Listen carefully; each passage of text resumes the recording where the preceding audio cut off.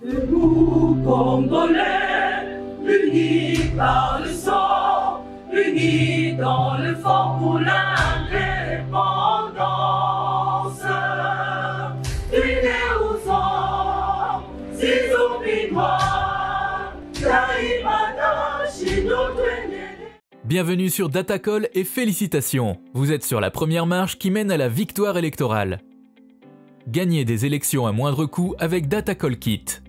Datacall aide les candidats à réaliser une campagne politique à moindre coût.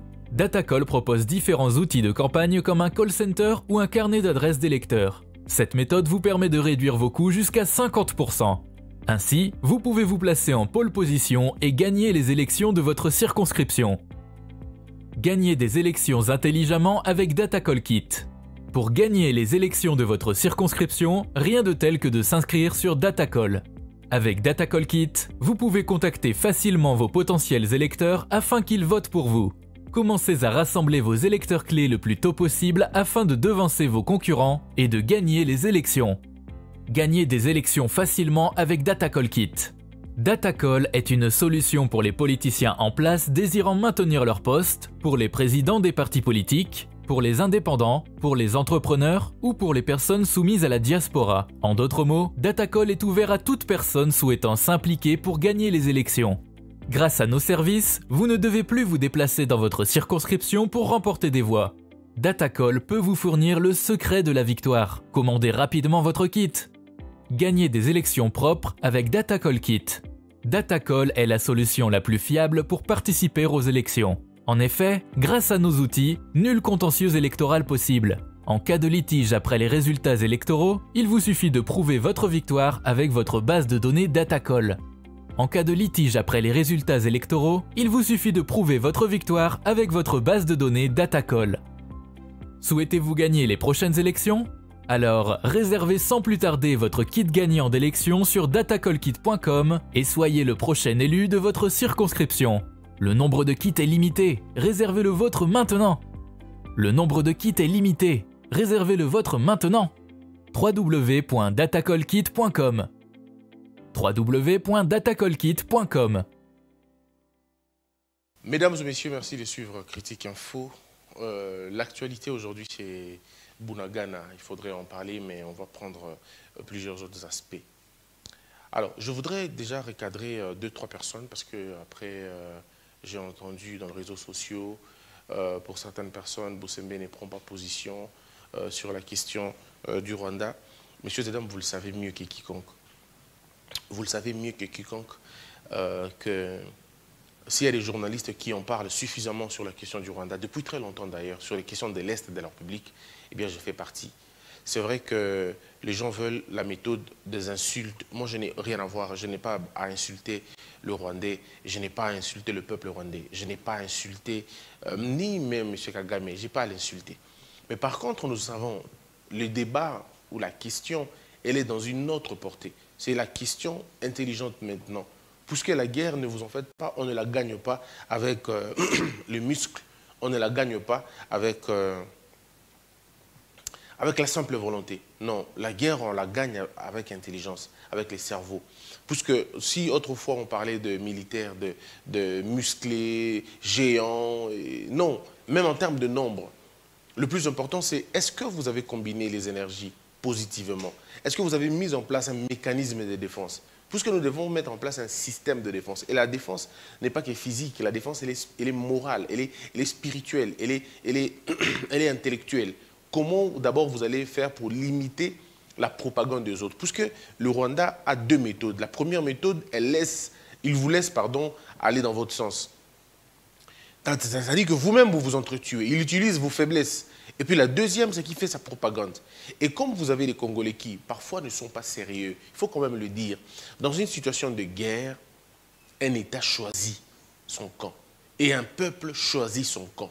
On fait d'ailleurs parfois euh, on refuse de reconnaître les capacités des autres en public. Ils peuvent être forts, ils peuvent être comme ils veulent, mais vous, dans le langage de tout le temps, vous n'en parlez pas. Puisque l'ennemi ne doit pas savoir que vous connaissez ses forces. Si l'ennemi est au courant que vous connaissez ses forces, il ne vous montrera que ses forces et vous allez faire la promotion de ses forces et vous allez oublier les vôtres. Donc dans la technique de la bataille, dans l'art de, de la guerre, c'est celui qui a compris les enjeux de la guerre qui gagne. Ici, c'est la guerre des informations, c'est la guerre de l'information, de la qualité de l'information. Celui qui possède la, bonne information supplante l'autre et gagne l'autre directement. Mais maintenant, la grande question, est-ce que nous, nous sommes prêts à aller dans ces conditions-là? Déjà qu'au niveau interne, on a des petites difficultés. On ne s'entend pas sur beaucoup de questions. Il y a certains Congolais qui veulent même que la guerre arrive en RDC pour qu'ils aient un discours. Il y a d'autres qui attendent que le, mal arrive pour qu'ils aient un discours. Alors, avec un état d'esprit comme ça, que voulez-vous? Que voulez-vous? Parce que le Congo sans Bunaganda, ce n'est pas la RDC. Or, la RDC, si elle est attaquée, si un seul militaire rwandais se trouve sur le territoire congolais, c'est déjà un, mauvais truc pour nous tous.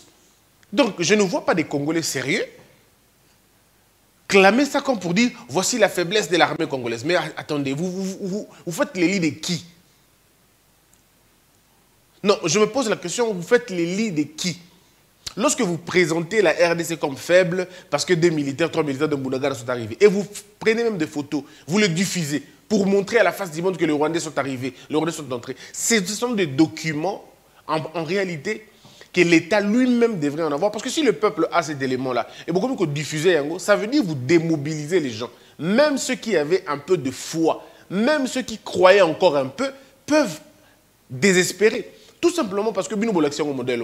Or, ça ne veut pas dire lorsque les groupes armés ou les rebelles ou les, terroristes, puisqu'il en est, euh, il faut en parler comme ça, lorsque le Rwanda qui soutient le M23, bah, à ça ne veut pas dire que notre armée est tombée. Ça ne veut pas dire que la RDC est tombée. Non, ça ne veut pas dire ça. Ça veut dire que Bazana a dynamique et Bitumbawana. Et ce n'est pas la première fois qu'un territoire congolais soit occupé. Ce n'est pas la première fois. Comme Bongo, Bango, et comme Bongo, Bango. Maintenant, le problème, c'est qu'on en a assez avec ce jeu de ping-pong. Maintenant, on veut avoir une situation stable, que nous maîtrisons notre société, notre terrain, et qu'aucun ennemi ne peut entrer chez nous. Mais pour ça, il faut inoculer la peur. Il faut véhiculer le message de la peur. Il faut que l'autre ait peur des représailles. Si les gens peuvent entrer chez vous et ressortir, parce qu'ils savent qu'ils n'ont pas peur, ils savent qu'ils peuvent revenir après. Mais s'ils viennent chez vous et qu'après, des représailles sont proportionnelles à leur témérité, prochainement, ils ne seront plus. Prochainement, ils vont envisager autre chose. Parce qu'il y a ah mais cette politique allant dans le sens il y a publier ma vidéo il y a il y a il y a rebelle il y a terroriste il y a M23 il y a rebelle il y a Codeco il y a rebelle il y a il y a il y a groupes armés il y a Congo. Il y a terroriste M23 soutenu par le Rwanda. À un moment donné il faut qu'on sache faire son choix. Dans un état de guerre on n'a pas de parti politique. Dans un état, dans une situation, parce que état de guerre en droit c'est autre chose, dans une situation de guerre, on n'a pas de choix. Dans une situation de guerre, nous n'avons pas à réfléchir tous à positionner. Non, il n'y a pas de neutralité lorsque votre pays est attaqué ou lorsque votre pays est agressé. Ne vous cachez pas derrière, est-ce que le chef de l'État a dit qu'il y a guerre? On n'a pas besoin de dire qu'il pleut quand il pleut. Quand il pleut, il pleut. On n'a pas besoin de faire un constat. Est-ce que Mboule c'est tout. Maintenant, nous sommes dans une situation de guerre. Le Rwanda, visiblement, nous agresse. Et vous avez entendu l'Ouganda. En entendant qu'on a la responsabilité, il y a Ouganda devant, devant un fait accompli. Puisque savez-vous que l'Ouganda avait déjà été euh, euh, condamné à nous dédommager, vous le savez. Et donc là, si l'Ouganda recommence, mais il faudrait trouver la rhétorique qu'il faut. Parce que ici, le problème, c'est comment vous présentez les problèmes. Comment vous présentez la situation Comment vous montrez cette chose-là? Je vous donne deux petits exemples. Vous pensez vraiment que l'Ouganda aura besoin que la RDC s'élève? Il n'y a pas longtemps, lorsque Laurent Désiré Kabila était au pouvoir, l'Ouganda, Mousseveni l'avait déjà si bien dit, qu'il ne faut pas que le Congo se réveille, il ne faut pas que le Congo soit un grand pays, il ne faut pas que le Congo euh, soit conscient de ses enjeux. Il faut laisser le Congo dans la distraction pour mieux manipuler le Congo. Mais c'est ce qu'ils avaient dit déjà.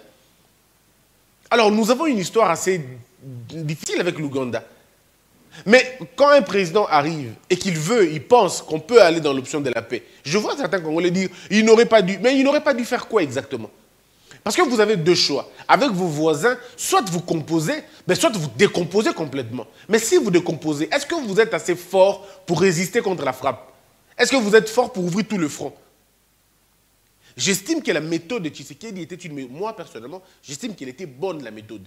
il fallait, quand il arrive, montrer les intentions, que la RDC n'a aucune envie de déranger les pays voisins. Aucune envie. Au contraire, la RDC a donné à, prêcher la paix, a prêché la concorde. La RDC a prêché le bon voisinage. La RDC a prêché, diplomatie. La RDC a traité le Rwanda des frères. La RDC a traité l'Ouganda des frères. Donc ça veut dire que même au niveau de la communauté internationale, même au niveau du tribunal international, même au niveau des cours internationales, de n'importe quelle instance judiciaire, on ne condamnera jamais la RDC, puisque ses intentions ont été claires sur la question. Mais maintenant, si nous commençons maintenant à frapper, que ce soit en Ouganda, que ce soit au Congo, euh, au, Rwanda, personne ne nous tiendra pour responsables. Puisque l'humanité tout entière a vu, nous sommes le seul pays qui a donné la possibilité à l'armée ougandaise d'entrer sur notre sol. C'est un acte qui a été fait, c'est un acte de beaucoup de courage. Bon, plusieurs personnes, bon, je comprends aussi leur position. Ceux qui disent non, ça n'aurait pas dû être fait et tout ça, c'était une erreur. Ok, vous avez peut-être raison d'avoir, vous avez peut-être raison de le dire. Mais dans peu de temps, vous n'aurez plus raison. Puisque quand on va maintenant commencer à frapper, ça sera dans l'idée de dire aux gens, on a essayé l'inessayable, si vous voulez. On a essayé l'impossible pour montrer à la face du monde qu'on n'avait pas besoin d'aller en guerre. Mais comme nos frères ne comprennent pas la leçon, ils ne comprennent pas ces, choses-là, eh bien on va aller là où ils veulent aller. Et mesdames et messieurs, je peux vous garantir, ne suivez pas les bobards et les racontars des gens. Ne suivez pas la rhétorique qui passe à la télévision à gauche et à droite. Aucun pays voisin ne peut supplanter la RDC. Aucun. Même si nous n'avons pas de militaires, nous avons une force que les autres n'ont pas. Nous avons une force que les autres n'ont pas. Déjà, regardez. La RDC, depuis 1960 jusqu'à aujourd'hui, n'a jamais présenté des idées d'annexer un territoire voisin. Même pas. Puisque nous n'en avons pas besoin. Déjà, la RDC elle-même elle est sous-occupée. La RDC elle-même n'a pas assez de, personnes pour vivre, pour occuper tous ces espaces. Déjà, la RDC elle-même, là, nous sommes 100 millions d'habitants, mais nous ne vivons que dans moins de 15% de nos, de, nos terres. Est-ce que vous imaginez ça? Et ça, les gens ne comprennent pas. Nous sommes 15%. Donc, ça dit que nous, habitons le Congo à moins de 15%. Ça dit que le Congo est pratiquement inhabité. Nous, on est concentrés dans des petits coins. Et nos grandes euh, parties restent libres. Ah, ce qui n'est pas le cas chez les autres. Les autres n'ont pas assez d'espace. En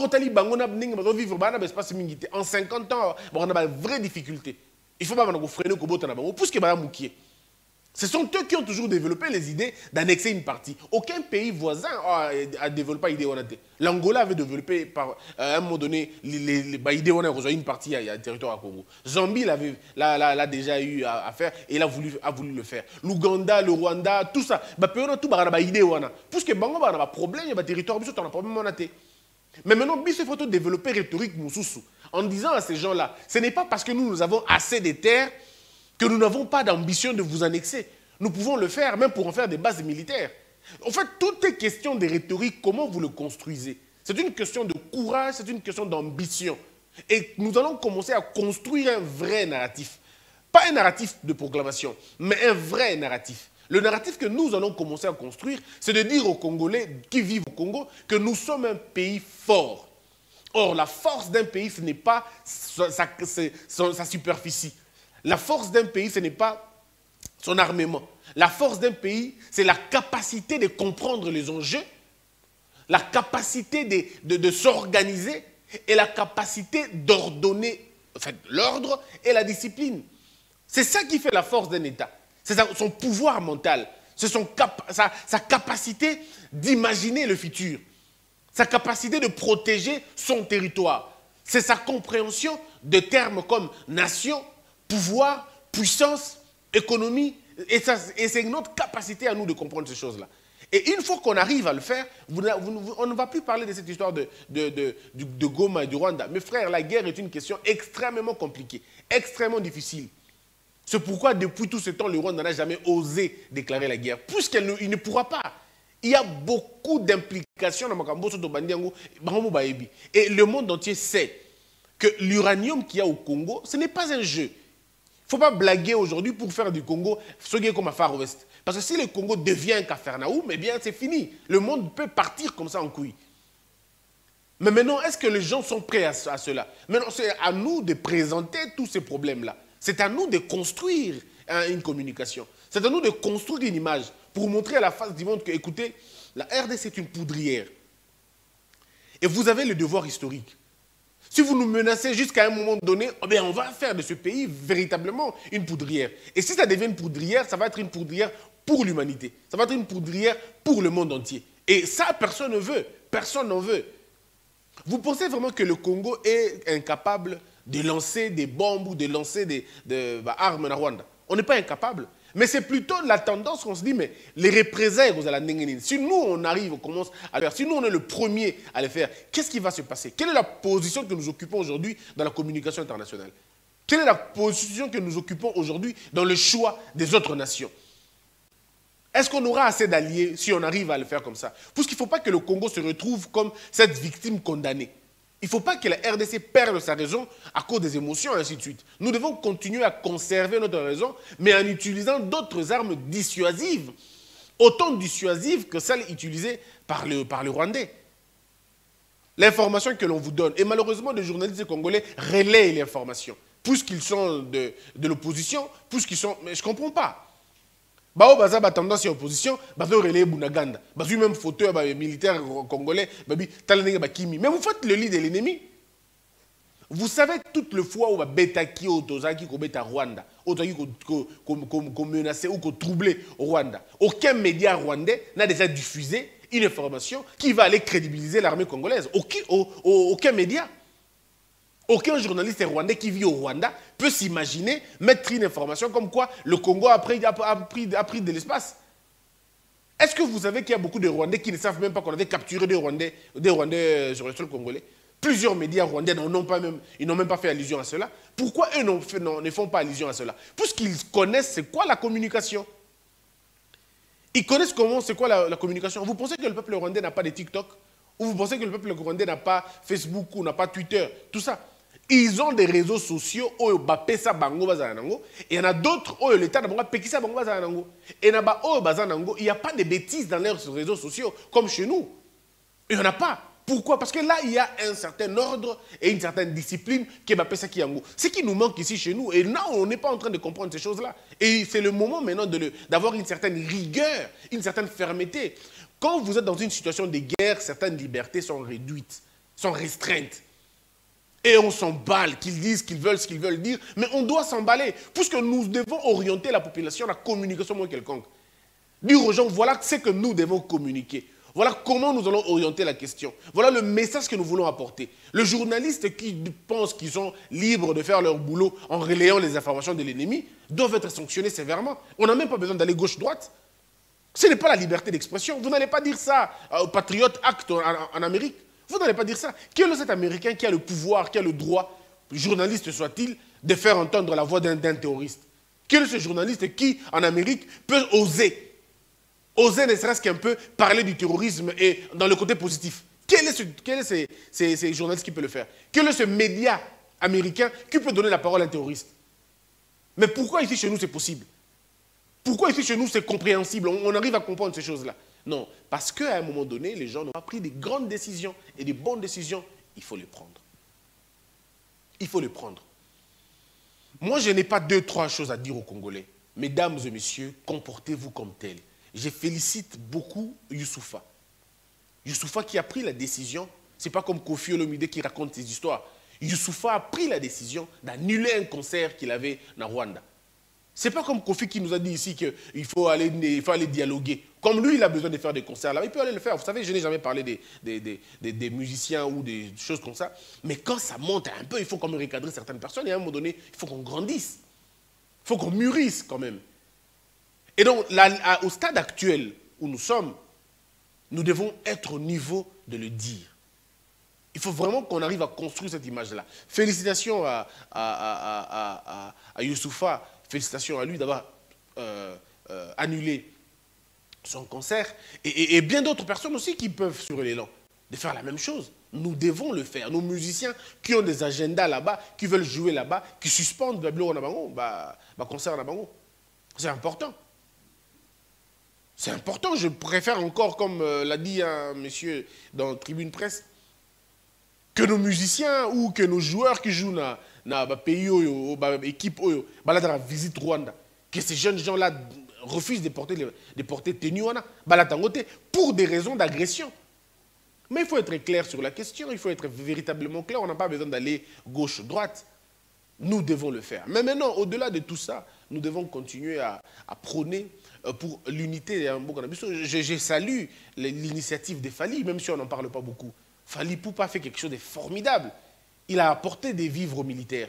Il a apporté son soutien aux militaires. Je suis content, je suis bien d'accord avec ça. Ce n'est pas comme un autre musicien qui est allé voir les militaires, après, deux jours après, on l'a entendu qu'il était au Rwanda. Je, moi, je, salue cette initiative de, de, de, Fali, qui, qui, finalement fait. Si tous les musiciens font la même chose, ça sera une très bonne chose. C'est le moment maintenant de construire un narratif. C'est le moment maintenant de construire une idéologie, une idéologie de guerre, une attitude de guerre, une confirmation. Et les faits et gestes de nos autorités congolaises doivent correspondre à cette attitude, à cette histoire, à ce moment. Mais il n'est pas question que le Congolais désarme. Mes frères, nous allons laisser à nos enfants un pays entier. Nous allons laisser à nos enfants un pays construit. On laissera à nos enfants ce pays-là. Disons aux autres, ils ont le choix.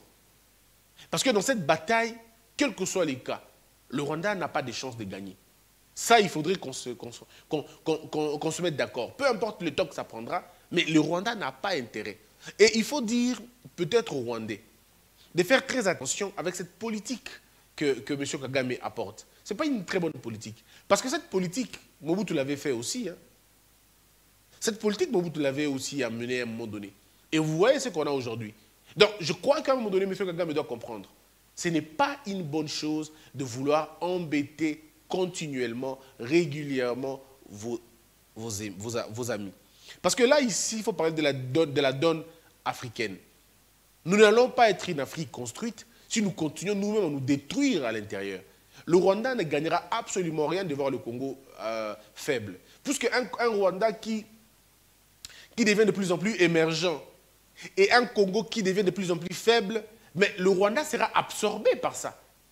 Puisque le Rwanda ne pourra pas contenir toute la population qui sera dans la misère du Congo, qui ira chez eux. Même l'Ouganda, même le Burundi. Donc nous n'avons aucun besoin de mettre le feu dans la région. On n'a aucun besoin. Comme Martin Luther King le disait en son temps, apprenons à vivre ensemble comme des gens intelligents. Sinon, on mourra tous ensemble comme des idiots. C'est un choix que l'on fait. Si le Rwanda choisit délibérément la voie de l'oppression, sachez une seule chose, l'oppression a toujours une fin. Quoi qu'il arrive, l'oppression a toujours une fin. Et le Rwanda ne fera pas exception. Ne fera pas exception. La politique, elle est dynamique. Mais les choses changent à la vitesse de la pensée. Et aujourd'hui, vous allez vous rendre compte, ceux qui connaissent, peuvent lire l'histoire politique du monde, comprennent que le Rwanda n'a plus ce mot à dire comme avant. Le Rwanda de 2000, de 2010, ce n'est pas le Rwanda de 2020 et de 2022. Donc ça ne sera pas le Rwanda de 2030. Regardez dix ans plus tard ce qui va se passer. Regardez. Si votre politique se base sur un individu, à un moment donné, ça va s'écrouler. Et quand ça s'écroule, vous remettez votre, votre peuple dans sous la domination de notre peuple qui a été victime hier. Mobutu, quand il gérait euh, l'Afrique, il ne savait pas qu'il y, avait, il y avait le Rwanda qui se préparait. Il ne savait pas qu'il y avait des gens qui se préparaient dans un maquis quelque part. Alors si Kagame pense faire la même chose, mais quelqu'un me connaît l'histoire, comment ça se passe après? Nous avons vécu 32 ans de notre pays, même pas 32, on a vécu 37 ans de notre pays, dans toute fierté, toute grandeur possible.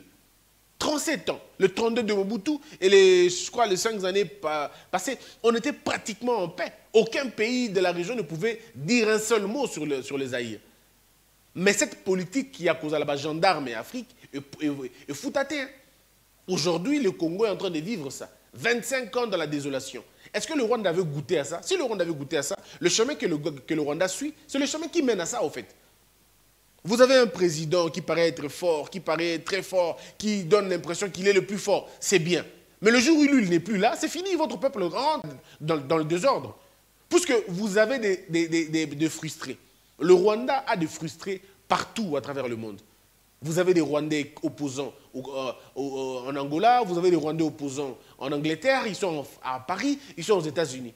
Est-ce que vous allez accepter qu'un autre pays, que le Congo ou un autre pays, organise ces gens-là et qu'ils puissent revenir reconstituer une force et qu'on leur donne une terre ici chez nous en disant, bon, nous vous aidons à chasser votre régime, comme vous l'avez fait pour le Congo en, en soutenant l'AFDEL. Si aujourd'hui la RDC prend ces chemins-là, en disant, ok, on va faire la même chose, nous allons aussi soutenir des gens qui veulent faire partie du Rwanda. Et nous essayons de trouver les appuis qu'il faut. Est-ce que le Rwanda serait une très bonne chose? Est-ce que l'Afrique aura son sens là-bas? C'est pourquoi je dis toujours aux gens, c'est le moment de construire la paix. C'est le moment de construire la paix. Quand je dis de construire la paix, ce n'est pas l'exclusion de la guerre, ce n'est pas l'exclusion de la dissuasion. Ça, n'exclut rien du tout. Rien du tout. Encore que la paix et la guerre se conjuguent au présent. Ne vous en faites même pas. Si vous voulez d'ailleurs savoir, la paix c'est l'apostrophe de la guerre. Et la paix c'est le i qui manque, le point qui manque sur le i de la guerre. Et quand on dit paix, entendez par là une guerre silencieuse. Puisque les piliers de la paix, c'est la capacité de faire la guerre. Qui wispakiem parabellum. N'oubliez jamais ça. Ceux qui parlent de paix ne sont pas ceux qui sont faibles. Ceux qui parlent de paix ont conscience de l'atrocité, du désordre que peut y avoir, des représailles que peut y avoir, des dégâts qui peuvent être causés par la guerre. Voilà pourquoi ils parlent de paix. Très souvent, ceux qui parlent de guerre ne connaissent pas la guerre. Ils pensent que la guerre, c'est limite à toyon, toyon, toyon, toyon. Non. Quand on commence une guerre, on connaît quand on la commence. Mais quand on la termine, on ne sait pas. Et on ne sait toujours pas qui tombe dans la guerre. Donc ce n'est pas une très bonne chose, ce n'est pas une bonne chose. Mais parfois, ça reste la seule option lorsque vous êtes en face des hommes et des femmes qui ne comprennent pas le chemin de la paix. C'est vrai, le chant de la paix est silencieux. La chanson de la paix est silencieuse. On entend très souvent la chanson de la guerre, puisqu'il y a crépitement des balles. Mais est-ce que c'est ce que nous voulons? Je parle pour l'Afrique, je parle pour la région. À ce stade aujourd'hui, la France ne peut pas imaginer annexer l'Espagne. La France ne peut, pas, imaginer, parce que Azamounen a, a annexé à Belgique. Et l'Allemagne ne peut pas penser comme elle est grande à annexer France. Puisque le temps, est, les temps ont changé, ils sont passés à autre chose maintenant. C'est le temps que l'Afrique passe à autre chose. Le Mali ne se développe pas si euh, euh, le Soudan est en sous-développement. La Côte d'Ivoire ne peut pas aller de l'avant si Burkina Faso est en bas. Burkina Faso ne connaîtra pas son essor si euh, la Côte d'Ivoire est par terre. Le Ghana et ainsi de suite. Nous sommes un peuple africain, construisons-nous comme ça. Pour terminer, j'étais en train de discuter avec euh, beaucoup de gens, hein, on parlait sur la question, et je me disais, moi j'ai toujours nourri les idées de passer, de, de, rentrer dans la zone anglophone, euh, avec une, une primauté d'une de nos langues nationales. Ça peut être le lingala, ça peut être le chuluba, ça peut être le swahili, ça peut être le kikongo. Ou on peut aller avec toutes nos cinq langues nationales et on en fait une force. Mais en tout cas, ce qui est sûr, hein, personnellement, je ne connais pas des pays qui se développent avec autant de langues. Je ne connais pas trop en tout cas. Si vous en connaissez, ça sera toujours bien de m'enrichir. Mais je ne connais pas des pays qui se développent avec plusieurs langues. Je crois qu'on finit par faire un tour des Babel et c'est très compliqué. Donc si on peut s'entendre sur une seule langue ou deux, ça peut toujours nous aider. Mais même avec les cinq, ce n'est pas un problème, on peut, on peut aller avec. Mais est-ce que ce n'est pas le moment maintenant de dire il est temps de faire euh, un tour vers l'anglais? Vous ne percevez pas encore. Mais vous savez, comme je l'ai fait dans tribune hier, nous n'arrivons pas, notre message n'arrive pas à être capté. Nos pleurs, nos cris, nos plaintes, nos dénonciations, tout ça, ne peuvent pas être captés. Ils sont captés vers les pays qui ne peuvent rien pour nous. Lorsque le Congo, de toutes les émissions que nous faisons ici, sont des émissions qui sont euh, euh, consommées en Afrique. Et l'Afrique elle-même est dans le problème, donc elle ne pourra pas résoudre le problème. Euh, nos messages sont écoutés en France. La France, vous le savez très bien, hypocrite, elle n'est toujours pas disponible, elle n'a réglé pas de problème dans le pays, vous le savez. Notre problème est connu, est entendu en, en comment on appelle encore En Belgique. Donc vous voyez, c'est-à-dire quand nous, nous parlons ici, on ne nous écoute qu'en Belgique, et à, Paris. C'est tout. À la limite au Canada, là où la partie francophone. Mais le Canada, qu'est-ce que le Canada? Vous avez déjà entendu le Canada intervenir dans des pays lorsqu'ils ont des problèmes. Le Canada n'intervient toujours pas dans ces histoires-là. Mais les pays qui sont censés intervenir ne peuvent pas intervenir comme la France et tout ça.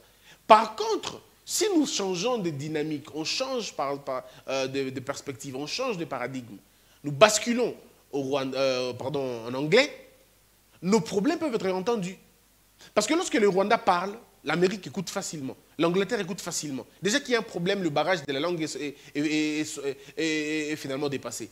Ils parlent, ils s'entendent. Mais nous, il faut des, traductions, donc ça veut dire un long chemin. Nous pouvons commencer maintenant. On dit, nous allons basculer en, anglais. Ne faisons pas ça brutalement parce que la France nous fera la guerre. Elle ne voudra pas perdre ce bloc francophone. Mais nous pouvons déjà trouver un moyen. Commencer avec l'anglais.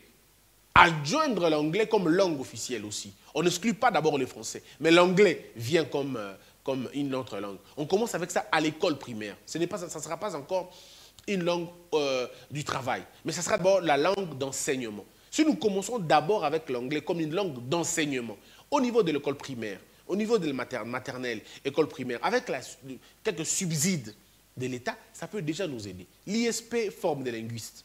Et ces gens-là, une fois qu'on les a, et on sait de les former en 2, 3, 4, 5 mois, 6 mois, des formations accélérées, pour qu'ils forment à leur tour des gens, ça va être une très bonne chose.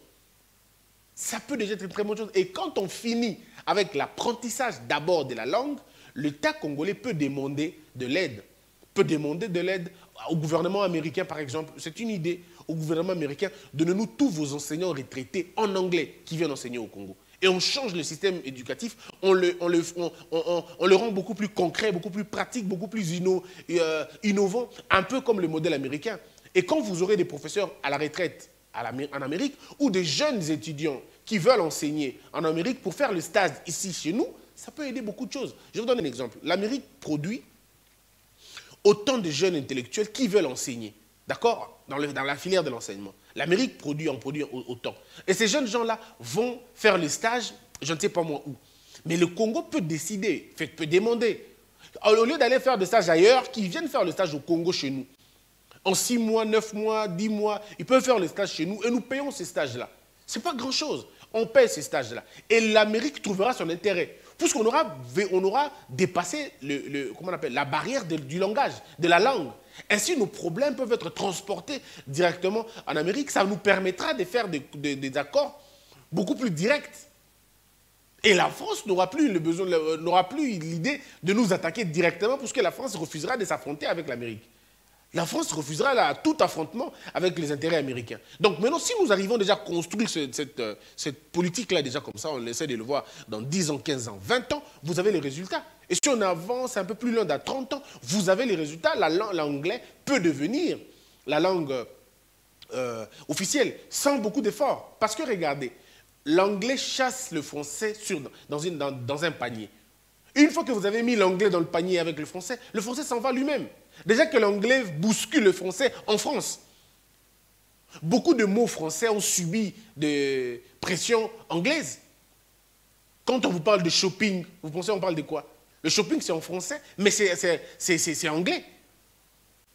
Quand on vous parle de Play Store, quand on parle de store, je vais dans un store. Le store, c'est quoi? C'est l'anglais. Déjà que l'anglais bouscule le français à Paris.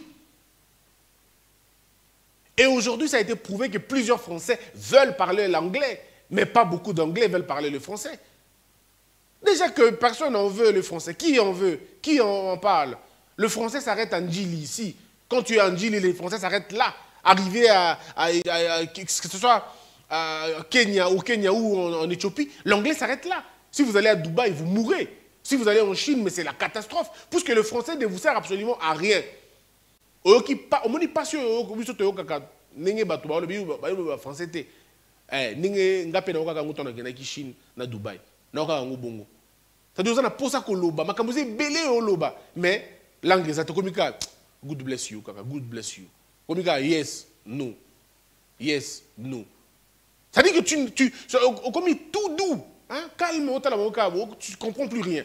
Puisque là-bas, mais lorsque c'est un Nigérien qui arrive là-bas, il parle mieux que toi. Lorsqu'un Ghanéen arrive, il fait moins de temps dans, un- dans une boutique. Il part vite. Parce qu'il il pose la question. Même pour tout le Combo, il y a- il prix. C'est combien votre histoire? Et combien mon boulot, comment quand il s'est prof, ou comment quand il le nombre de fois qui m'a cours anglais. Tu commences à imaginer toutes ces choses-là. Il est temps que le Congo dise Hum, hum, la France aussi ne nous aide pas déjà de toutes les façons. Comment on fait? On construit un truc comme ça.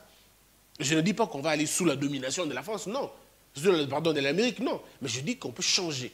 Pour qu'on ne soit pas. En quoi est-ce qu'on est. Ça nous aide à quoi en étant dans la francophonie? Ça nous aide en quoi? En rien, du tout. Est-ce que vous avez déjà entendu la France parler d'Amamanabiso La France est incapable de parler d'un pays francophone. Elle est incapable, on compte les pays francophones.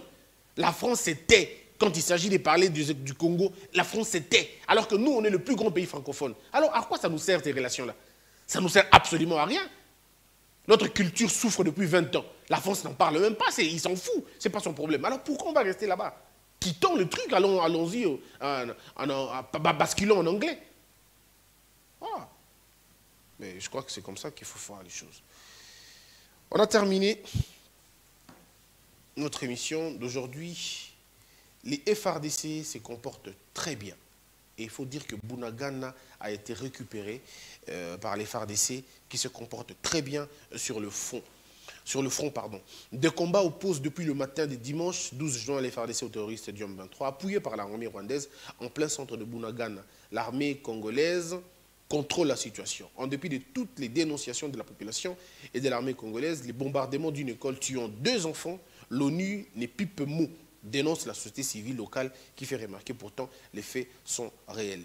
Et enfin, l'ONU condamne le Rwanda pour sa guerre par procuration en RDC. Il faut qu'on aille dans le langage, qu'on construise le langage. Il faut qu'ils arrêtent à dire, de dire par procuration. Il faut qu'ils disent la guerre directe. Guerre par procuration, ça veut dire une sorte de dédouanement. On ne vous implique pas tout de suite. C'est un peu comme une sorte de, de soupçon. Nous avons dépassé l'étape de soupçon. On est dans l'étape de preuve maintenant. Et ça, c'est à nous de construire ces choses-là. Voilà.